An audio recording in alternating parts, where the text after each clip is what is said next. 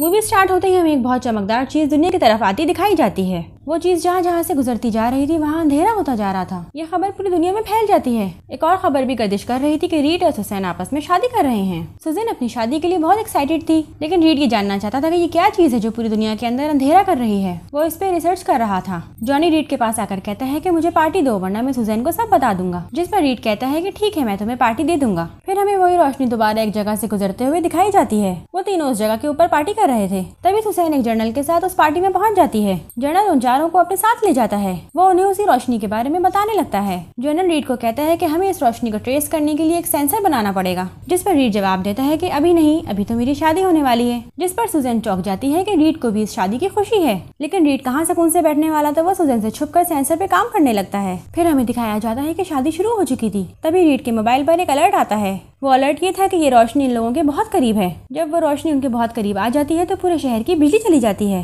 Read और Suzanne की शादी की रिकॉर्डिंग करने के लिए वहाँ एक हेलीकॉप्टर आया हुआ था। बदकिस्मती से वो गिर जाता है, लेकिन खुशकिस्मती से कोई जानी नुकसान नहीं होता क्योंकि बैन वहाँ टाइम पर आ जाता है। तभी रीड जॉनी को उस रोशनी के पीछे भेजते हैं ताकि वो ये पता लगा सके कि आखिर ये चीज़ है क्या। जॉनी उसके पीछे जाता है तो वो एक मखलूक थी, जिसका नाम सिल्वर सल्फ़र था। वो जॉनी को गले से पकड़कर आउटर स्पेस में ले जाता है। जॉनी बेहोश हो जाता है और वो उसे वहाँ से नीचे फेंक देता है। जॉनी को टाइम पर होश आ जाता है और वो बच जाता है। ज़मीन पर आने के बाद वो सबको सिल्वर सल्फ़र के बारे में बताता है। सब लोग जान गए थे कि उन्होंने सिल्वर सल्फ़र को छेड़ के बहुत बड़ी गलती की है। दूसरी तरफ़ सुजैन रीड से बहुत खफा हो जाती है। वो रीड से पूछती है कि आखिर हमारा कोई फ्यूचर है भी कि नहीं? ये कहकर वो अपने भाई जॉनी के पास चली जाती है। सिल्वर सल्फ़र से लड़ाई के बाद जॉनी की तबीयत खराब थी। सुजैन जब उसका टेम्परेचर चेक करने के लिए उसे हाथ लगाती है, जिसकी वजह से जॉनी की सलाहियतें सुजैन के अंदर आ जाती हैं। सुजैन के जिसम में आग लग जाती है और वो उड़ने लगती है। इसी दौरान जॉनी उसको टच करता है, जिससे उसकी सलाहियतें वापस आ जाती हैं। रीड सिल्वर सल्फ़र पर रिसर्च कर रहा होता है। रीड को पता लगता है कि वो सिल्वर सल्फ़र जिस भी प्लेनेट पे गया, वो प्लेनेट आठ दिन के अंदर तबाह हो गया। अब हमें सिल्वर सल्फ़र को रोकना होगा। सिल्वर सल्फ़र ने ज़मीन के अंदर बहुत सारे सुराख कर दिए थे और वो उसी के अंदर रह रहा था। वो ये पता लगाते हैं कि जिस पैटर्न से वो ज़मीन में सुराख कर रहा है। उस हिसाब से अगला सुराख वो कहाँ करेगा? उन्हें उस जगह का पता चल जाता है और तभी सिल्वर सल्फ़र भी वहाँ पे आ जाता है। जॉनी उसका पीछा करने लगता है, तभी उसकी रीड से टक्कर हो जाती है, जिसकी वजह से उन दोनों की सलाहियतें आपस में एक्सचेंज हो जाती है। वहाँ पर मौजूद एक रोलर कोस्टर सिल्वर सल्फ़र की वजह से गिरने वाला था।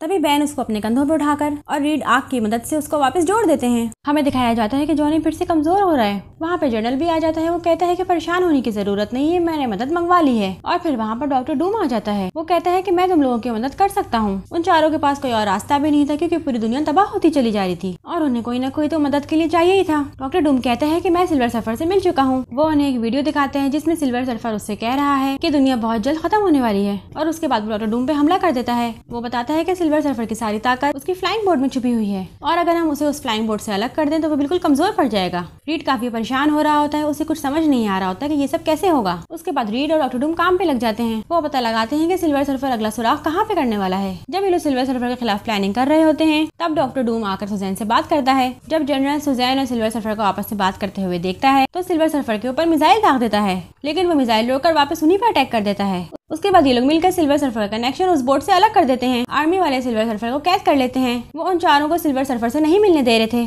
तो सुजन प्लान करती है कि वो गायब होकर उससे मिलने जाएगी। वहाँ वो देखती है कि आर्मी का बंदा सिल्वर सल्फ़र को टॉर्चर कर रहा होता है। तभी वहाँ उससे कोई मिलने आ जाता है और सिल्वर सल्फ़र अकेला रह जाता है। सुजैन उससे अकेले में बात करने लगती है। बातों के दौरान सुजैन को पता चलता है की वो किसी के लिए काम कर रहा है। वो बताता है की उसे अपनी जान बचाने के लिए मुख्तलिफ़ प्लैनेट्स को तबाह करना पड़ता है। जिस पर सुजैन उससे पूछती है की अगर तुम तबाही फैलाते हो तो तुमने मुझे क्यों बचाया? वो कहता है कि तुम्हारी शक्ल उस लड़की से मिलती है जिससे मैं प्यार किया करता था। वो कहता है कि मैं जिसके लिए काम कर रहा हूँ, उसका नाम गैलेक्टिक्स है और वो बहुत जल्द यहाँ आने वाला है। और फिर हमें दिखाया जाता है कि गैलेक्टिक्स दुनिया के बहुत करीब आ गया है। हमें दिखाया जाता है कि जनरल ने डॉक्टर डूम को सिल्वर सल्फ़र की फ्लाइंग बोर्ड पे काम करने की इजाज़त दे दी थी। डॉक्टर डूम उस बॉल को हासिल करते ही अपना असली रंग दिखा देता है। बोर्ड को कंट्रोल करने के बाद वो जनरल को मार देता है और वहाँ तबाही मचा देता है। डॉक्टर डूम उस जगह से बाहर चला जाता है। वो चारों ये देख के बहुत परेशान हो जाते हैं। उन्हें किसी भी सूरत उस बोर्ड को वापस लाना था। वो सिल्वर सल्फ़र को आज़ाद कर देते हैं और उसको प्लेन में बिठाकर डॉक्टर डूम का पीछा करते हैं। उनकी डॉक्टर डूम से बहुत लड़ाई होती है। डॉक्टर डूम सिल्वर सफ़र के ऊपर एक नेजा मारता है, लेकिन इस बार सुजैन उसे बचा लेती है। नेजा सुजैन के आर पार हो जाता है। वो जख्मी थी और बहुत जल्द मरने वाली थी। तभी हमें दिखाया जाता है गैलेक्टिक्स भी ज़मीन पे पहुँच गया था। जॉनी कहता है कि डॉक्टर डूम से मैं लड़ूँगा और वो बाकी तीनों की पावर भी अपने अंदर अब्जॉर्व कर लेता है।